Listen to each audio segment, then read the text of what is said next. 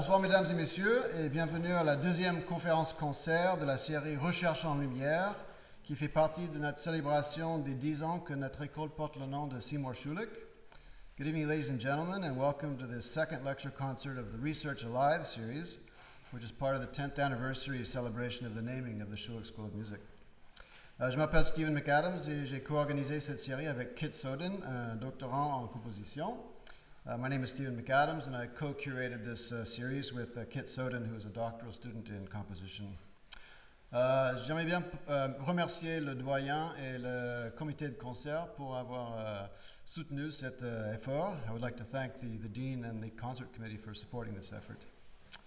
Uh, the aim of this series is to bring alive the research in music theory, music history, musicology, music education, and sound recording, as well as the many faces of musical science and engineering that make up the music technology area. But even in the case of performance and composition, music research goes on behind the scenes that leads up to the final product. And that research process will also be revealed over the coming years. Each event will be given by a member of the Schulich School of Music uh, to bring to light their research, amply illustrated with live musical examples and ending with a small piece to tie it all together. The main idea is to demonstrate the many faces of music research at the Schulich School of Music.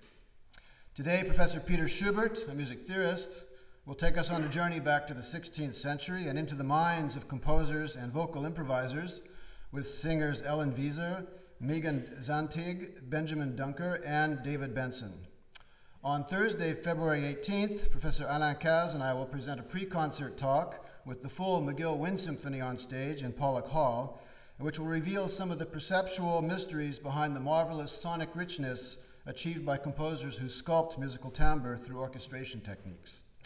And to end this inaugural season, Professor George Massenburg, a world renowned sound recordist and developer of recording technologies, will delve into the intricacies of what it takes to make a Grammy winning recording with a live combo on stage. I hope to see you all at all, all of you at all of these events. And now, with further ado, please join me in welcoming Professor Peter Schubert and his troupe of singers.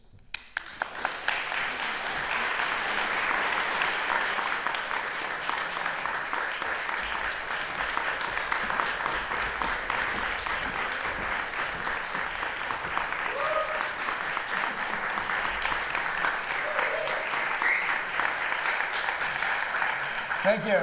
Okay, I see you can hear me. I mean, I can hear that you can hear me. So if it's too loud, I'll t- just say, you know, tone it down, please. Okay.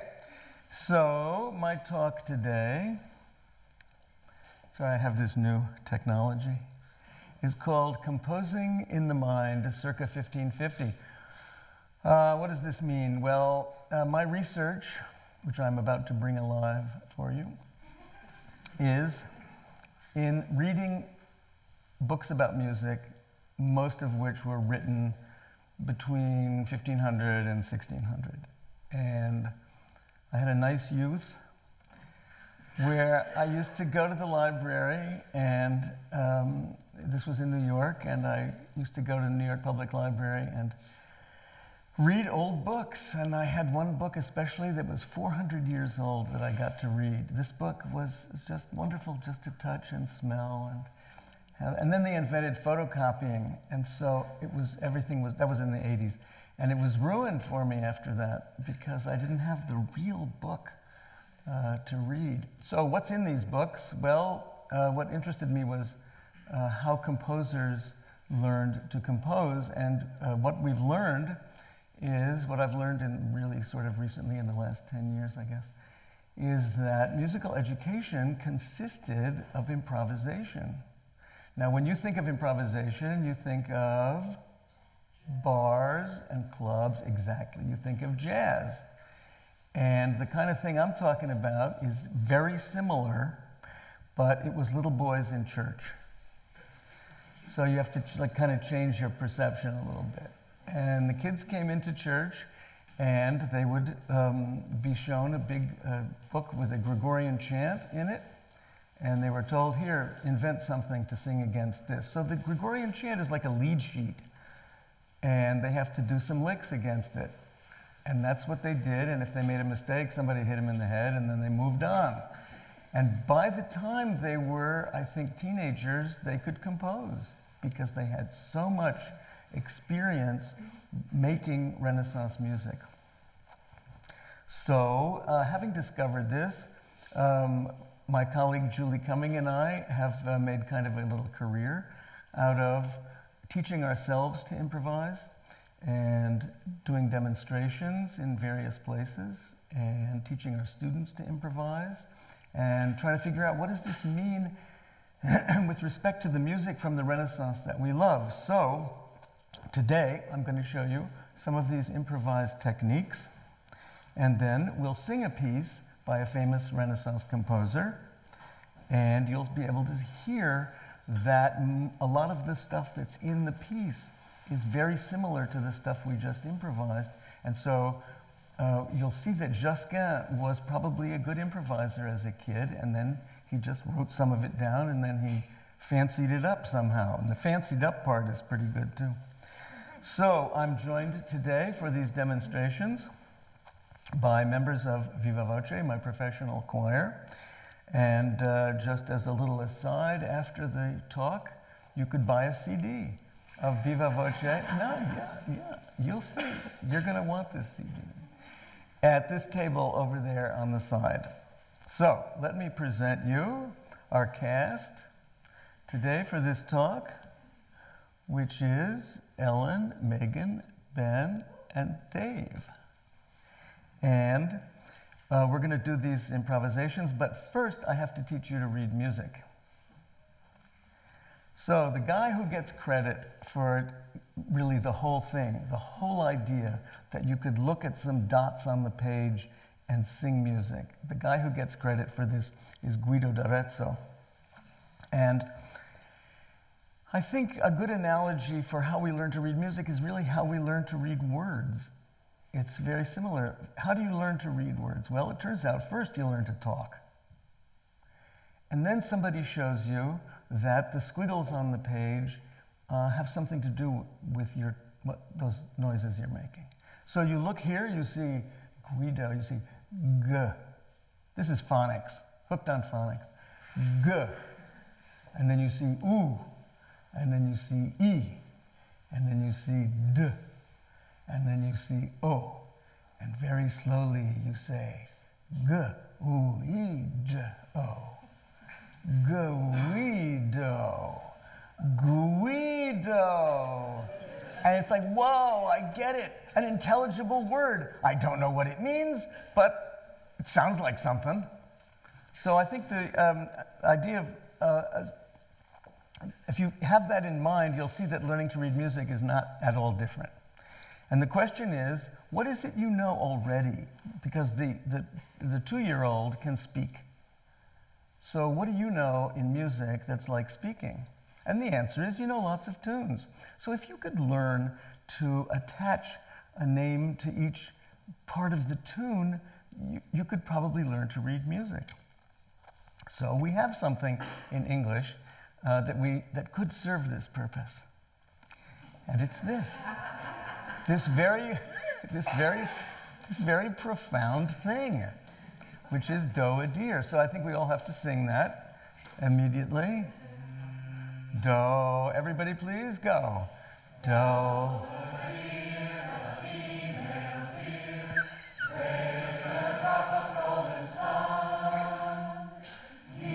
This is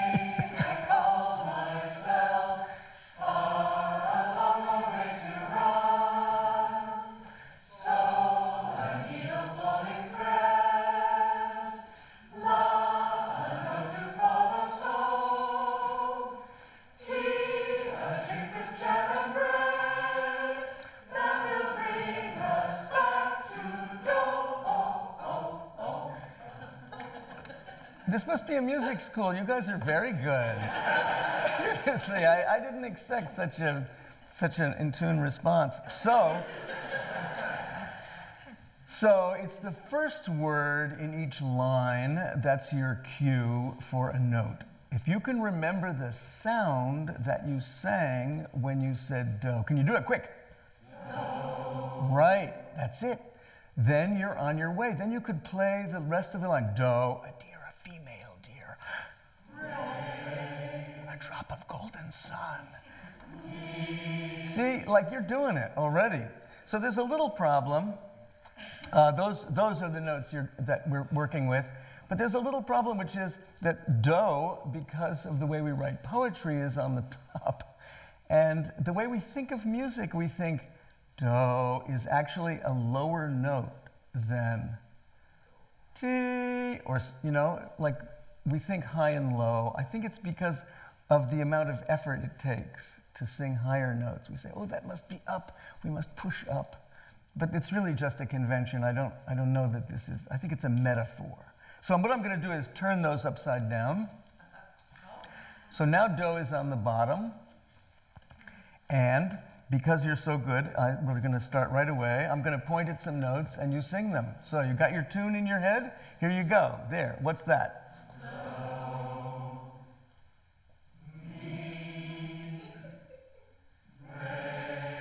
So I want to know: Is anybody really going? Ray, a drop of gold, like. Is, are you doing that or can you actually read music? so I know some of you are cheating and for whom this is very easy. So now I'm going to do another little experiment. Um, here we go. So again, here we go. What's do? Okay, now I'm going to give you, I'm going to actually do a tune. Ready? Go.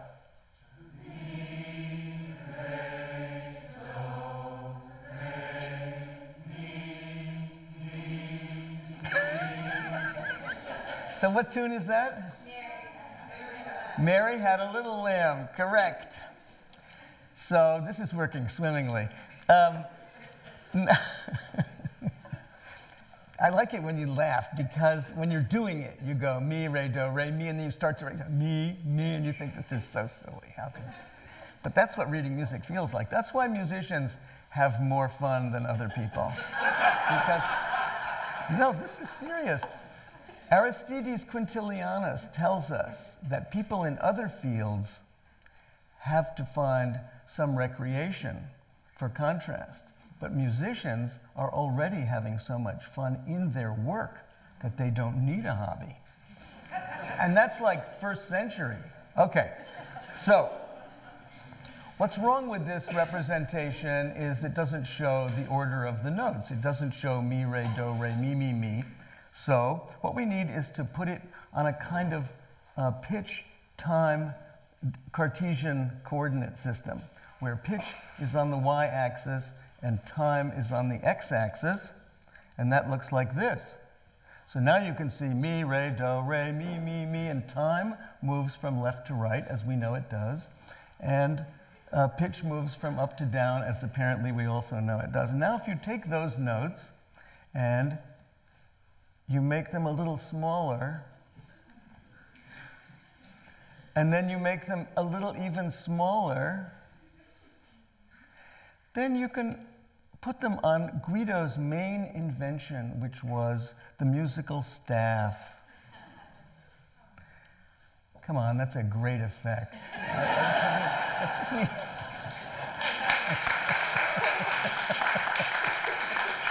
okay. So now the significance of the staff is that you will always associate the top space with me, and the next line down with Ray, and the next space down with do. And so you won't need the names of the notes anymore. You can just replace them with little blobs. And there it is. There's Mary had a little lamb. It's a little rough, but it gives the idea. So now, if I gave you a different tune, you would be able to read it instantly. How about that? So, do you know what the name of the first note is? Do. That's right. But in case you forgot, there are the names. In, in in that funny English, uh, especially fa, you know, because Julie Andrews uh, has a British accent. Anyway, um, so read this. Here we go. Ready? Go.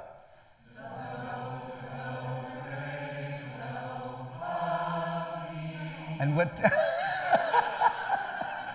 it's so great because it's this discovery. It's like reading poetry. Oh, yes, this is me. I, recognize myself. so, you know that what tune that is? Good.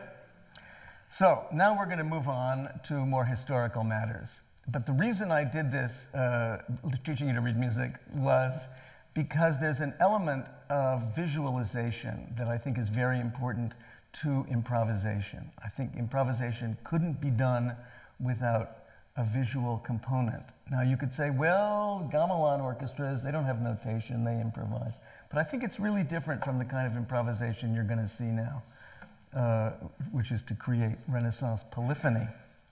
So, uh, the person whose piece we're going to hear at the end of the concert, at the end of the talk, is um, Josquin des Prez who's super famous in his own time and is still super famous now, except some of his reputation has been eclipsed by, you know, Monteverdi, Bach, Beethoven, Scriabin, and so forth, and Brian Cherney and other people that you, that you, you know, have eclipsed uh, the fame of Josquin. But in his time, he was like really serious. And uh, for him, the syllables were not the same ones. Obviously, the Sound of Music song borrows from the original um, medieval syllables that Guido invented. So there they are in their um, medieval form Ti, La, Sol, Fa, Mi, Re.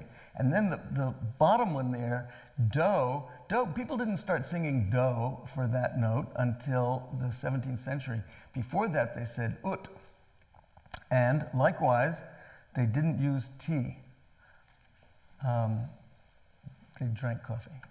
No, they, they didn't have, a, they only had six notes in their scale. Don't worry about why that's true, it doesn't matter. And if you, if you scan these words, uh, la, sol, fa, mi, re, ut, you might notice that there's one each of every vowel. And so, except for the A is doubled. so you have six notes, five vowels. Well, you had, somebody had to double up. Okay. So then you realize, and Guido said this Guido said, if you ever have a tune, some text that you have to sing, I mean, and you need to make a tune to sing to it, you can just take the vowels and assign the notes, and there it is. It's ready made music. It's a little hard for us to imagine that a tune, a significant, beautiful tune, could actually just be made from vowels in words. Like, suppose I had to sing the word Gloria. So then I would take the O, glow, and then I would take re, and then I would take either fa or la, I don't know. Which one do you like better? Let's try it out. So, what's sol? Remember sol? Can you do do, dear, female, dear, married, soul? There, I got there. Okay, so here we go. We're going to sing uh, Gloria, Sol, Mi, Fa. Go.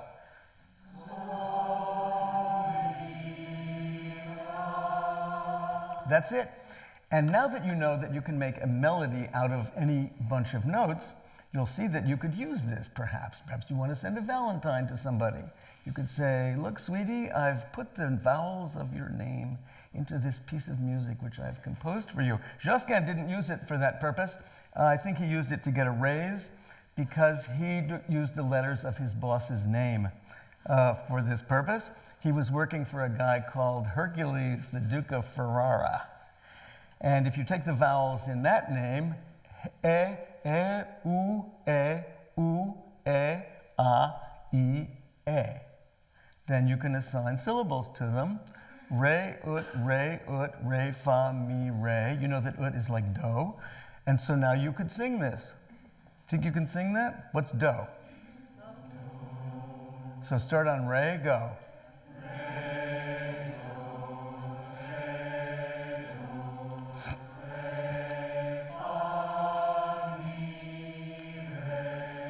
This is way too easy. I was expecting more difficulty. And then you could put it on the staff, and it looks like that. And then you could you could use it to make larger, more complex, interesting pieces. This is not an interesting tune.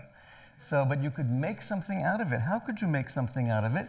Well, first Ben's going to sing it, and then uh, we'll add something to it. So you just do that once.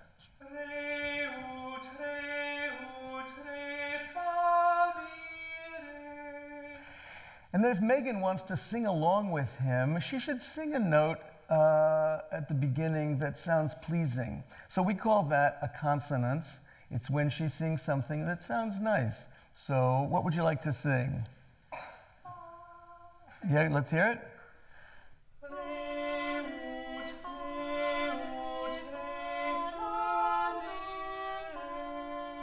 So I know you're thinking of the Everly Brothers because that's what, that's what they did. They sang in thirds like that the, the whole career.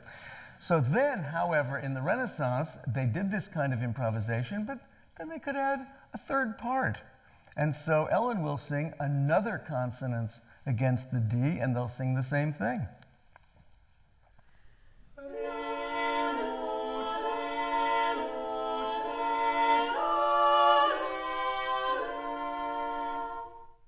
That's nice. And then we could, uh, in order to spiffy up the ending a little bit, we could add a cadence. Can we do that?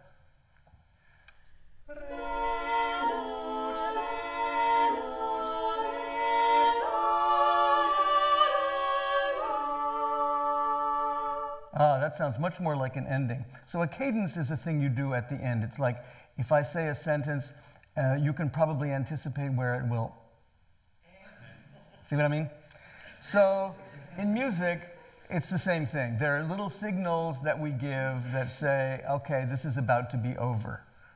And so that's what a cadence is. And of course, uh, composers learned uh, to do cadences. So, but now that was just the three upper parts the soprano, the alto, and the tenor. What about the bass? So let's see what Dave can do. What's Dave going to do when Ben is singing the Hercules tune? So, one thing is, he needs his own staff. And then he has to look at the first note that Ben sings, and he has to sing a consonant interval below. So let's say he looks and he says, Oh, I don't know, I think I'll sing a fifth. That's a good consonance. So he sings a fifth. There it is. And then he looks at the next note and he thinks, I want to sing a third under that note. So let's see, that's re ut.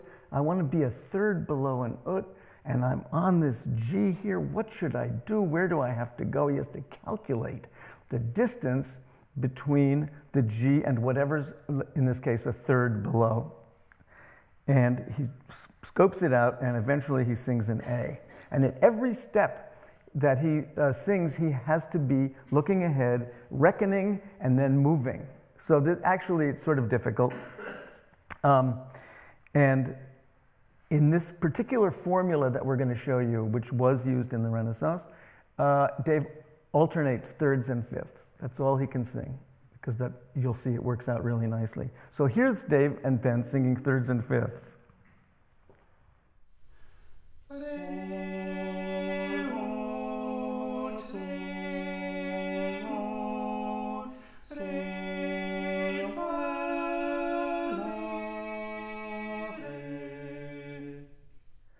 I like to uh, take the parts apart, let you hear only two parts, because we're going to use that same combination now and build it up. So then we're going to add Ellen, who, remember, was singing in parallel with the tune before. She can still sing in parallel, sounds like this.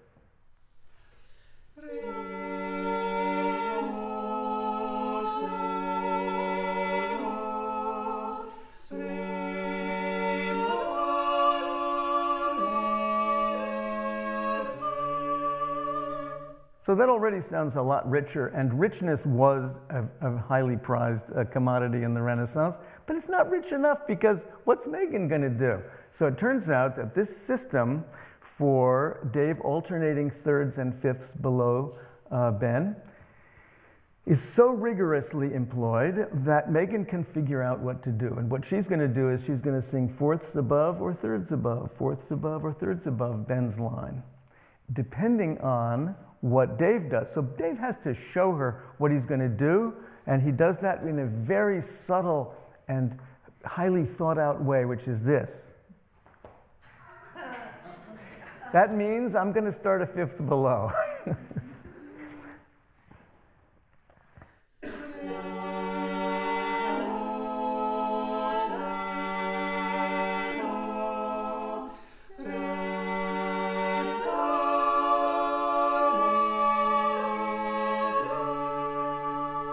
So that sounds like Renaissance music now. That's like a, a real um, triumph of a product. But Dave actually has more options. Like he started a fifth below, but a fifth isn't the only consonants below. He could start a third below. And if he starts a third below, the first chord will sound like this.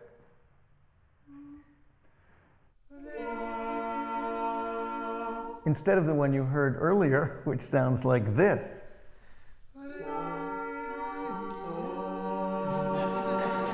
Right, this is improvisation. So he could start a different interval below and it would produce an entirely different result, and that's what they're going to do now. So this is him starting a third below.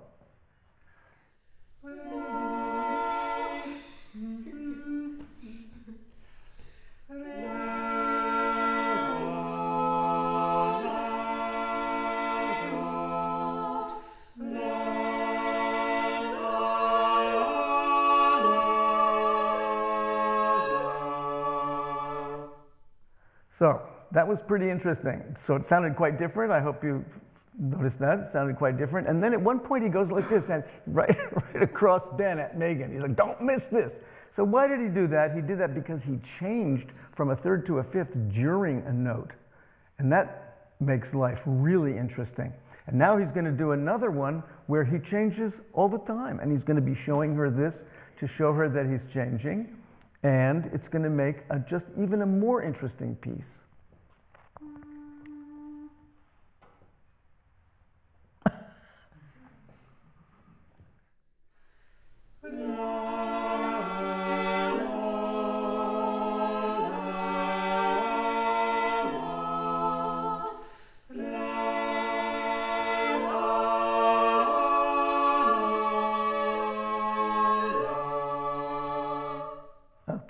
Yes, that was.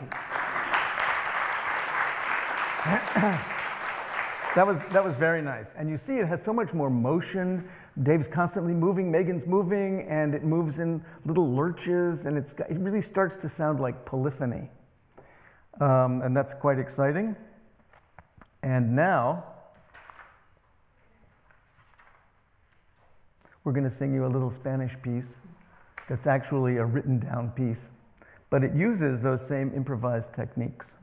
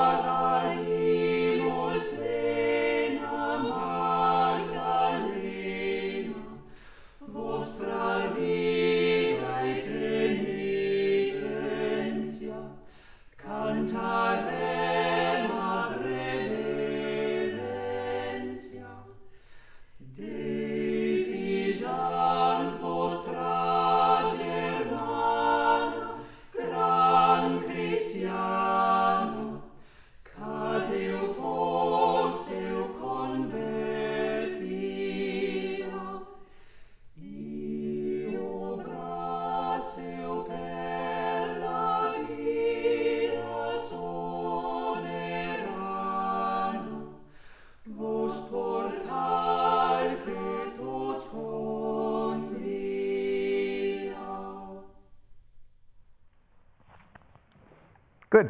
So, um, that, whoop.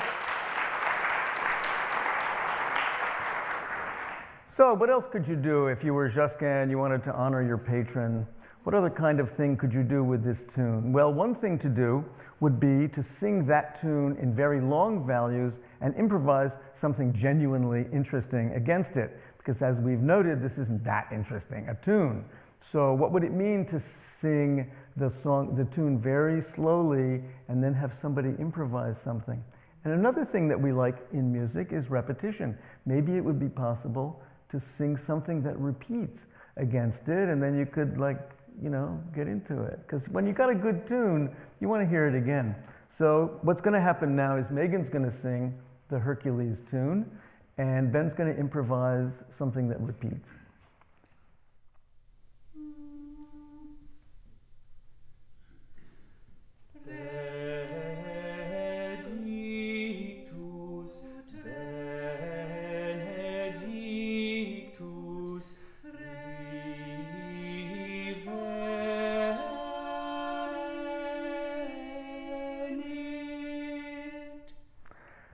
So there he sang a little tune with the word Benedictus, which is from the Mass, and then he repeated the word Benedictus, and then he uh, went on.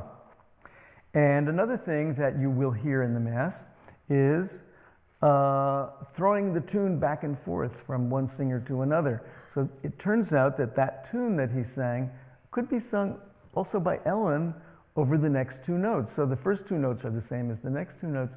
So why should he repeat it? Let her repeat it, and then you have, oh, more people, it's more exciting. So that would sound like this. And then when they get to the end, they have to figure out somehow how, what to do so they don't step on each other's toes.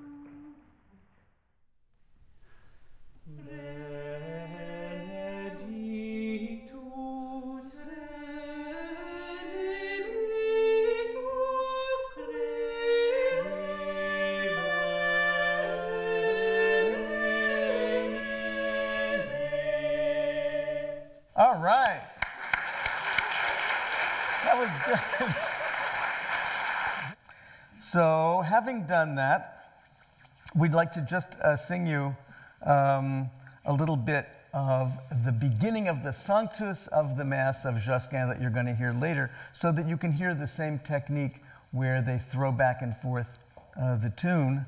So, Megan's going to sing the Hercules tune, but she sings it really slowly now. Want to sing it once for us, real slow?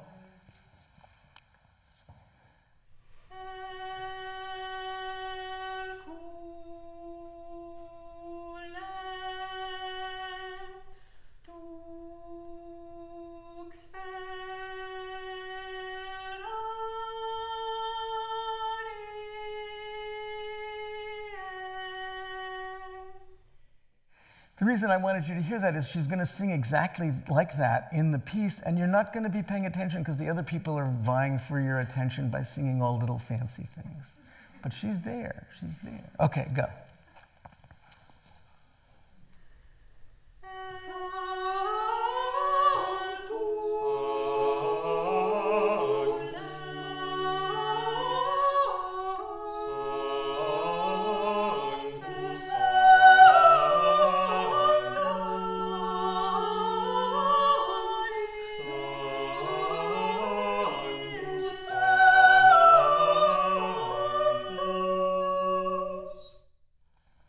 That's just a little foretaste of the. Uh,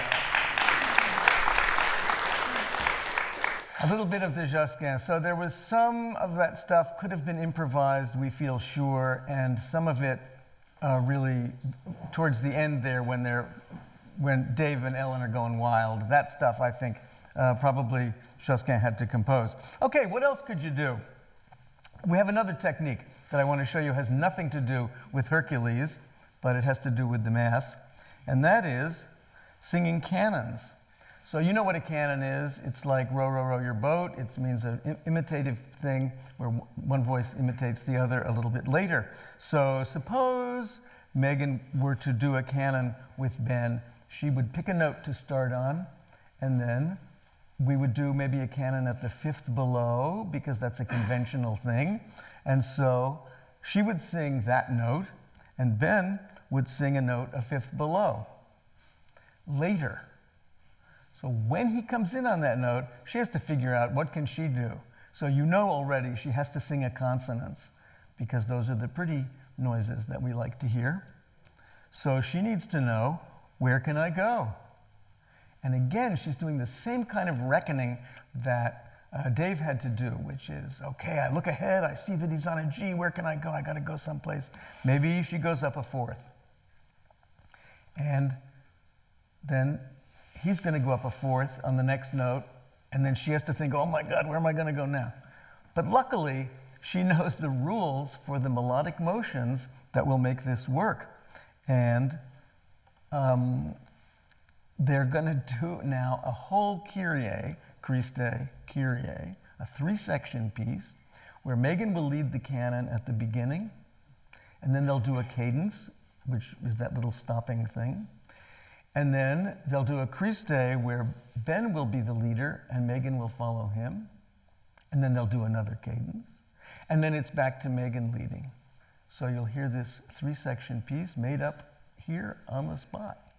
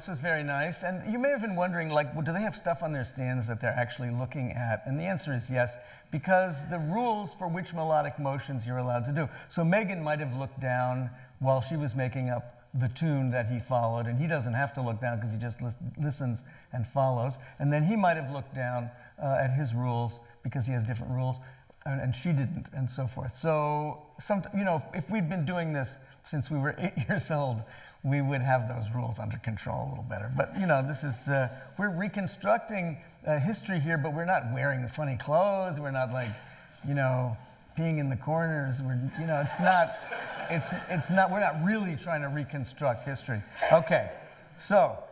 Um, uh, so this technique is used in the section of the Mass uh, that you're going to hear.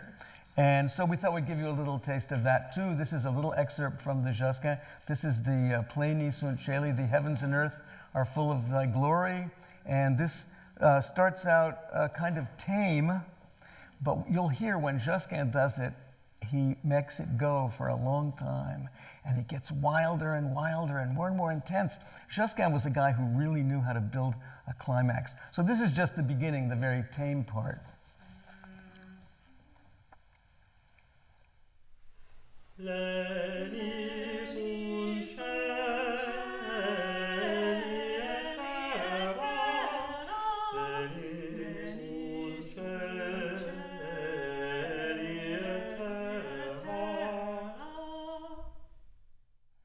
So that's just the same kind of thing that they were just improvising, uh, written by Josquin on the text of the Mass.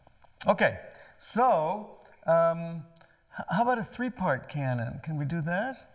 So this is not in the Josquin at all. We're just doing this to show off. and if we really wanted to show off, we'd do it in four, but we didn't have time to practice, so we're not going to do that. But this is a three part canon, and we're going to use the text, another text from the Mass, the Agnus Dei. And I think Megan leads, is that right? Okay.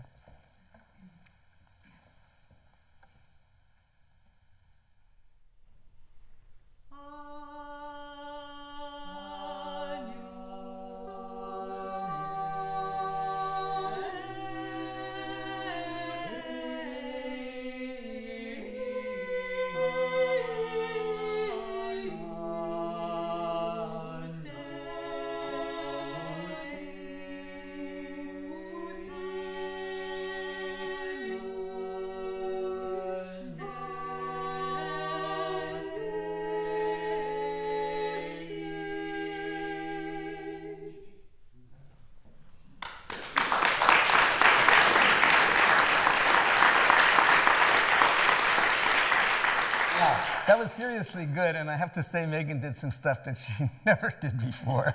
So, so that's what happens in improvisation. You could see there's like a high degree of our concentration up here. Okay, so that's it. I think we're ready to hear uh, the whole Sanctus uh, from uh, Missa Hercules Dux Ferrariae by Josquin. So you need to know the Sanctus is the place where it says, Holy, holy, holy Lord God of hosts. And then that's the, who is that? It's the angels, right? The archangel, who says that? Seraphim, thank you. And what book of, what, where is this? This is from the Old Testament. Isaiah. Thank you. Okay. And, uh, and so the first movement you're going to hear, the Cantus Firmus of Hercules Dux Ferrariae, is going to be sung. Uh, first, it's going to be the slow version by Megan, then it's going to be a slow version uh, by Ben, and the other parts uh, get to sing more interesting music uh, all around. And then uh, there's the canon, which you heard uh, before. And then again, you're going to hear in the Hosanna, you'll hear the Cantus Firmus, but suddenly it goes a lot faster. And the person singing the Hercules Dux Ferrariae tune will always say the words Hercules Dux Ferrariae. So you can kind of spot it in these thick uh, polyphonic textures where everybody's doing something different. It's very, it's, it's, sort of mystifying, but you'll always be able to find that. And uh, then there's the Benedictus section, and that section is only duos, and uh, the Cantus Firmus, the Hercules tune, is in long values, and only one person sings little repetitious things, like, just like we did and then the Hosanna comes back. So, here we go.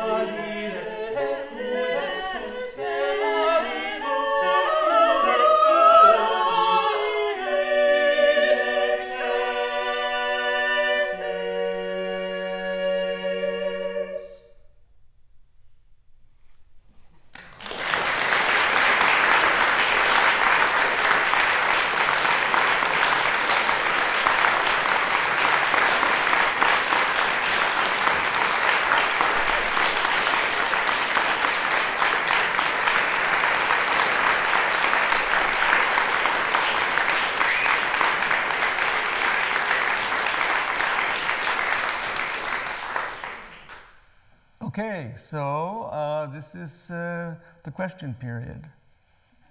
We have moved into the question period. I know you're all stunned from that before. Seriously, that's, that's good. Okay. Can we ask the singers questions? Yeah, yeah. How hard was it to learn how to do this? Depends who you ask. Ed probably had the easiest time with all of it. I don't know. It's it's really it's really uncomfortable at first. I wouldn't say it's hard so much as it's really uncomfortable not having the, the crutch of printed music that you can rely on and, and sort of revert to if you need to. But so you really it, it feels very naked mm-hmm. at first when you're doing it, but you get comfortable with it. So. Do you? I guess yeah, it is. It's, it's interesting because the concepts remain the same, so we, we all feel reasonably comfortable with the theoretical ideas behind it, but we were saying backstage just before this that if we got together once a week and did stuff like this, then we'd probably be able to develop some kind of a, you know, vocabulary individually and as a group. Uh, when we do it, you know, occasionally for these things, it's kind of, oh my gosh, it's so different than what we're used to doing. So, yeah. Yeah, th- this is actually uh, still at the level of a parlor trick. And, and I, I think there, there are groups in Europe, I was saying this also backstage, that there are groups in Europe that do this much more regularly. Nobody is doing it at the level of the little boy in the 16th century who had to do it in church probably every day, if not every week. So that kind of training, also, we're not as young as we used to be. So that too takes a toll. I think if you thought of this, if you thought of improvisation as a video game, which is, I think, the closest analogy I can come up with, imagine if you did this every day and you were obsessed with it and you wanted to beat the score of somebody else. Then it's like crazy to think how good you would be at it, and then of course you would become a composer.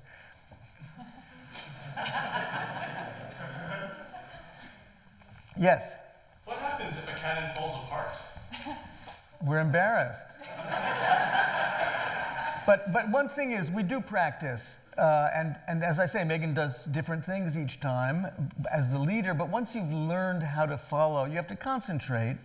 But if she doesn't make any, if she follows all her little rules, then it won't fall apart and you, you get good at it. But if it does fall apart, yeah, well, sometimes, like, sometimes a little mistake will happen, like someone will move on, on the wrong part of the beat, because that can be confusing sometimes, and sometimes you can sort of catch it, and sometimes, sometimes it's impossible to catch, and you just have to stop. right, the thing falls apart. It's been known to happen. You can't often catch it though. You can get back. Yeah. I mean, there's a little blip, but maybe no one else Yeah. does. Right. Yeah, that's right, that's right. Yes? In what the Josquin wrote and what the singers were doing, is there any connection to Gregorian chant and what was happening at that time? No, I would say no. I mean, the, the idea of taking a melody and using it as the basis for a big piece of polyphony is uh, normally it's applied, you use a Gregorian chant as, as, the, as the slow tune or as the basis. But this particular tune is clearly made up out of his head for some completely other purpose. And so I don't, So I, where are you getting the, the actual melodies for the, the bits of mass and the, the text of the mass? I think there, one thing that I'm fond of uh, telling people is that in the Renaissance, there's no instruction given for how to write a good melody. So I think what they did was they stole melodies from each other and tried to make them a little longer or a little better or you know vary them. So the other melodies that are added around the edges came out of Josquin's head, but he heard a lot of music and probably was modeling. I'm sure that there are some tunes that you heard that you will also find in other pieces by Josquin and other pieces by his contemporaries. So that m- melodic invention is always a problem, though. You didn't choose a bass for your piece of the. Sorry? You were using the treble clef for both pieces? Oh yeah. That- Well, I think that's You know- interesting, actually. yeah. Oh, I- when, when he gives us a cantus firmus when we're rehearsing, I usually notate it on my staff in the bass clef. Because, for instance, the one that he gave us was kind of high in the treble clef, And so if I'm going to visualize the notes I'm going to sing above it, I don't want to be visualizing ledger lines. So I, I do it lower so that I can actually try and see what I'm doing above it. That, that's just me. I think. No, it's not just you. This is a Yeah. huge problem. This is a can of, this is a total can of worms. Because, no, because it turns out, one of the things, I forgot to mention this in the talk, so I'm glad you remind me. It, one of the guys says, uh, when you're improvising, uh, you need to have a blank staff that's in the register that you're singing in.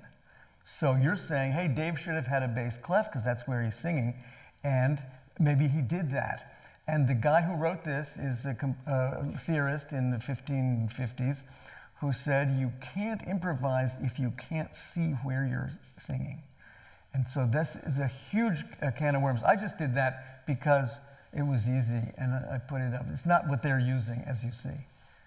They, they ado- adopt whatever clef is necessary for them. Yes? Um, I just have a question about the three-part canon. I forget who was it that came in third. Okay, so who did you follow? Good question. We were actually talking about this earlier, and uh, I, I'm following both of them equally, to be perfectly honest. Like, I'm, I'm doubling. Well, yeah. yeah. I'm glad she didn't tell me this earlier. No, because I'm doubling, like, I'm singing Ben, what Ben is singing an octave up, but, um, but a lot of the time I'm, I'm watching Megan, because then I get, I get emotion twice. So, yeah, it's a bigger, it's a bigger picture, because if I just followed Ben, I think I'd not know where I was in the context. I don't, I, it's probably different for every person though, I'm guessing. For me, that's, So basically, you're singing something and listening to two other different things Yeah. at the same time. well, but isn't that sort of the way that singers that sing polyphonic music do it? I mean, we're always listening to what's around us and relating to it in terms of tuning and in terms of relative pitch and all of that stuff, I think. Yeah, this makes you, this improvising thing makes you a very good um, singer of polyphony. And if you've already done it, then that makes you a better improviser. So the two things uh, work together. Yes? I'm really fascinated by the, um, all the things that are going on in your mind to do this because you're having to listen to somebody else, store that in memory, come back later playing it at a different pitch, be planning where you're going, you have to keep all that going in continuity. It kind of reminds me of what uh, simultaneous translators have to do. Particularly if they're That's good. Into German or something like that, or from German, where they have to wait till the end of the sentence to get the verbs. Yeah. And get it all out. uh, So you're constantly having to play between production, translation, and uh, actually hearing what's going on. That's that's interesting you mentioned that because I, I often when I'm a follower in one of these cans, I, I almost always mess the words up because it's one more thing to think about that I can't kind of can't kind of wrap my head around. So Did you mess the words up? I did every time I followed I did. Yeah. Did you notice? I didn't notice. yes. Since music was intended for religious purposes, are there certain effects that became commonly used for certain texts? Certain what's that became used? Certain Certain effects. effects. Oh, oh. Effects that became sort of pretty much uh, what was expected for certain texts, or was it always a question of surprise, of doing something differently? No, that's a really good question. There are conventions. I expect the Hosanna to be faster, brighter, louder, more uh, developed rhythmically, and I expect the Benedictus to be smooth and soft. I expect the Sanctus to be maybe more, not as it was here, but more um, mysterious and long, slow lines. So there are certain conventions that go with the different parts of the Mass that were uh, observed. But that's a really big question, other, beyond this simple answer. Um, can we think of another example, Julie? The increased day in the, in the credo is usually with long notes and, and Resurrexit, yes. But it's all just responding to the text of the Mass. Right, if, the, if you're singing about the crucifixion, then you sing slowly and low and uh, fewer parts, for instance. So there's a lot of conventions like that. Yes? Well, back in the day, most people attended Mass, they didn't understood any Latin. So they had to keep a certain atmosphere for everybody so people would know which part of the mess they were. So that's why like uh, that area would be happier or Mhm. have like a more mysterious feeling to the ghosts and stuff like that. Yeah, I think that that may be true. That's right. Yes. If I want to learn how to do this, are there resources that I Oh, I thought you'd never ask. So go on my YouTube channel. Uh, yeah. So there's that. There's a bunch of stuff on YouTube. If you type in Renaissance improvisation, Peter Schubert, blah blah blah. There's like a text, textual list of, of rules that I can look at, or just watch? No. Well, if you buy my textbook,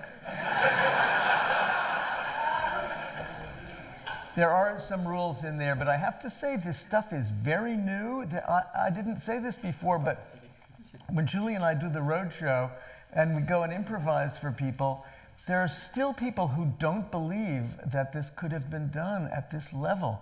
So it's a great pleasure, honestly, it's an honor for me to have these people doing this at a very high level. And uh, as I say, the people in Europe are doing this also at a very high level. But there aren't a lot of rules What about written um, down. There was, I mean, a couple of years ago, we went to a, a thing in Venice, Yep. conference, Yep. uh, and there were a lot of people there talking about the similar thing. There was one book, Yes, there is, there is a book, uh, which is not by me, unfortunately. and it's in French. And it's in French, and it's by Barnabé Janin, and I don't remember the title of it. Le Chant sur le Livre, maybe? something like that. That's true. That, that book actually is pretty complete. So that's a good source. Thanks for reminding me of that. Um, other questions? I think you have to try it. Um, everybody should be trying to do this. I think it's um, a a good thing for everybody to do because you're in touch with the music in a very um, d- direct, sort of simple way. It's like eating the food, really tasting the food. And also, I think it's a scandal that people don't learn to read music younger. So that's my um, little political, that's my Donald Trump moment. Uh, uh, seriously, what is up with this? Like, why is this? So, this is so mysterious. It's not mysterious. It's really easy, and everybody should be doing it all the time, and everybody should be reading music all the time. So there.